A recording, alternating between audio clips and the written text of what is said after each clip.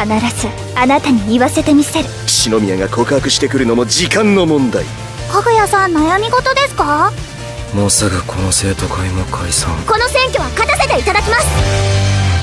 俺なら絶対かぐやを手放したりしないのに。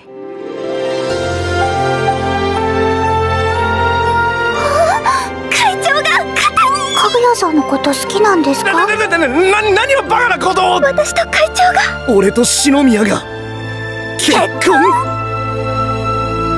かぐや様は告らせたい天才たちの恋愛頭脳戦。